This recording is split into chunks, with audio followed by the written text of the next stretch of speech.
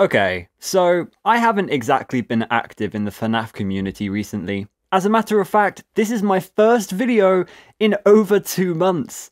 But to quickly summarise, the FNAF movie happened, which I didn't really talk about, Help Wanted 2 happened, which I didn't really talk about, and meanwhile, Scott has been chatting away on Reddit like he never even retired. Something that really piqued my interest recently was actually one of these posts on Reddit concerning, get this, the canonicity of the books. Now, we all know these books. The Fazbear Frights and the Tales from the Pizzaplex series are canon, but the big theory debate for years has been whether they are specifically canon to the game's timeline. Because if they do take place in the same continuity, it has some pretty large ramifications. It would mean that Afton's not around anymore because his last moments were him sinking in that lake in Fazbear Frights, and it would also mean the focus has now shifted to this unstable mimic AI that is replicating and playing hide and seek with us.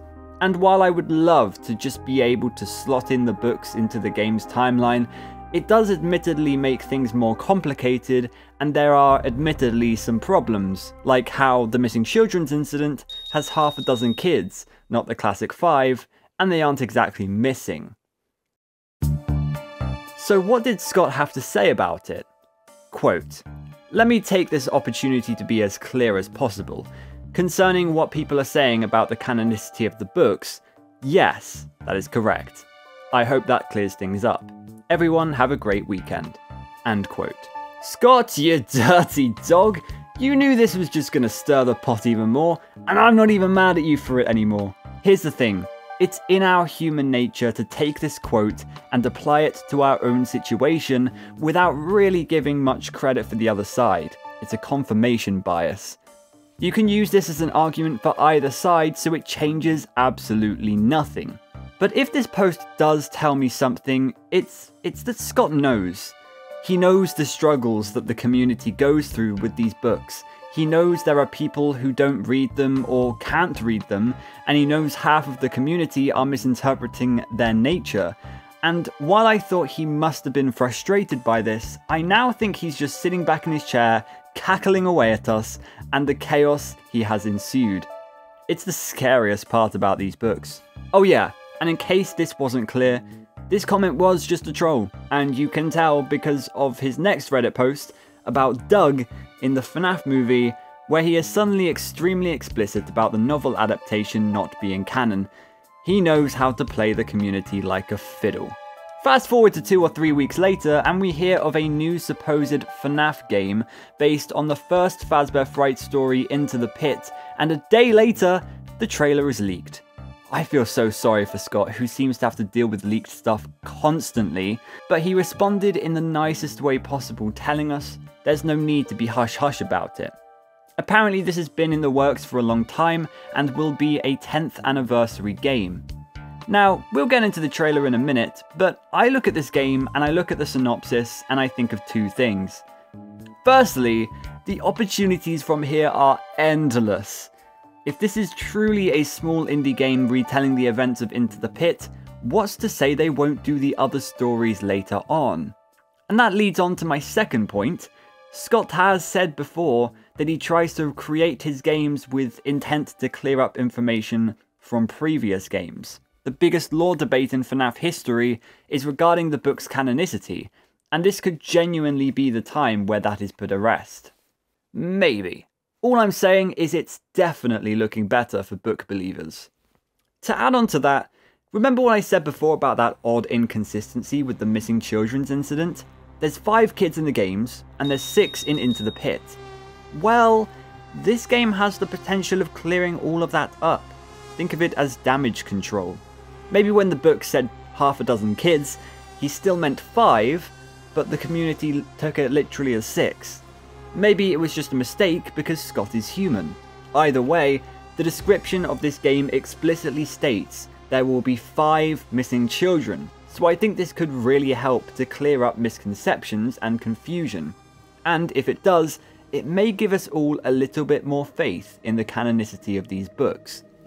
Let's talk about this game. It's being developed by Megacat Studios, and we're going to be travelling through time to solve puzzles, gather clues, and outrun the threat chasing us in both universes. And if that sounds like a mystery you want to dive deep into when this game comes out, you may want to get your hands on some of today's sponsor, G Fuel. G Fuel is the market leader in the energy drink industry and they are all about performance. You're going to want to be on your A game when this FNAF game releases because apparently it is packed with Easter eggs. And if you've got some G Fuel to hand, it will give you some game changing energy paired with laser focus and get this, it's completely sugar free. I actually drink G Fuel whilst editing my videos for the endurance aspect of it, but it's perfect for gaming and there are over 50 different flavours you can try from. My personal favourite is Hype Sauce, which is a delicious blend of raspberry lemonade. So why don't you try it out right now by going to gfuel.com and using the code OZONEYT for 20% off of your purchase. Thank you so much to G Fuel for sponsoring this video. So in Into the Pit, we'll have to save Oswald's father and five kids' lives, uncovering secrets in fatal minigames and discovering different endings, all packed with Easter eggs. Don't know about you, but this sounds amazing to me. Now, don't get me wrong, Ruin was fantastic, and Help Wanted 2 was even more fantastic. But I also think that this is a great route for the FNAF games to take because it goes back to that classic indie feel and a lot of what made the series popular in the first place secret minigames, endings, and Easter eggs. I am so excited about that. Now, about the trailer, first of all, the art is super charming and really impressive. I actually have a lot of faith for this as an adaptation. So, we see an outside shot of Jeff's Pizza, which is canonically the name of the pizzeria after Freddy's was renovated, and is where the time-travelling ball pit resides. Then we get a shot of Spring Bonnie luring us into the back room just like in the book, following the rabbit as Oswald had read in Alice in Wonderland.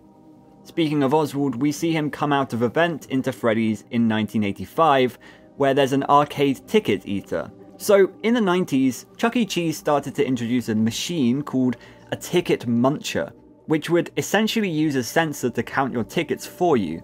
So, I actually really like this attention to detail already.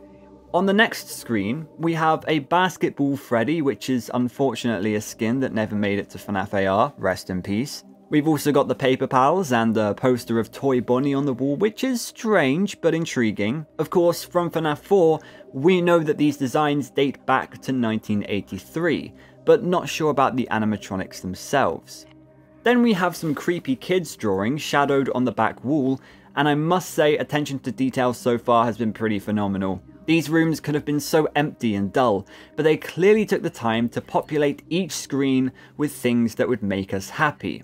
Speaking of which, on the next screen we have a purple coat right next to the employees only door. Hmm.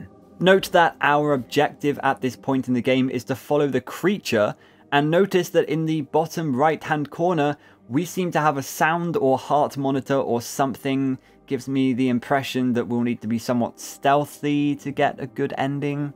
So here's the infamous ball pit, and this looks like it could be an ominous handprint. But a detail I did notice is it looks like there's a faint mural on the back wall. That is super true to the original source material, where the murals of the animatronics from Freddy's was painted over with a thin coat of pale yellow paint, but Blob's was still just barely visible. Oswald's dad says, What were you thinking, hiding that nasty old thing? Didn't you hear me calling you? which is taken directly from the book. Then, completely out of nowhere, an amazing jump scare of the creature that's surprisingly terrifying. Like, this pixel art is absolutely nuts, especially looking back at some of the old Atari style minigames and that 5 pixel Midnight Motorist mound. In the book, it's actually only Spring Bonnie's arm that comes and grabs the father, but I don't mind this version because the animation is phenomenal. Of course, there are going to be changes between the books and the games. That's how adaptations work. Another cool cameo here is actually Circus Baby in the background. Don't think this really messes up the timeline at all. It just tells us that Circus Baby's all happened before the MCI, but you can let me know your interpretations in the comments. And then we get such a cool scene, hiding in freaking Golden Freddy of all animatronics. I just love the silhouette of the creature here along with its movement. It's it's actually really really scary. And that's it for the trailer for now.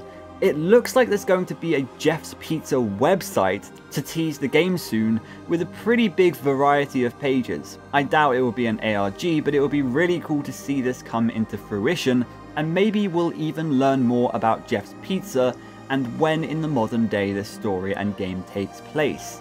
Anyway, that's all from me for now. Thank you so much for watching, make sure to subscribe, and I'll see you in another video. Goodbye.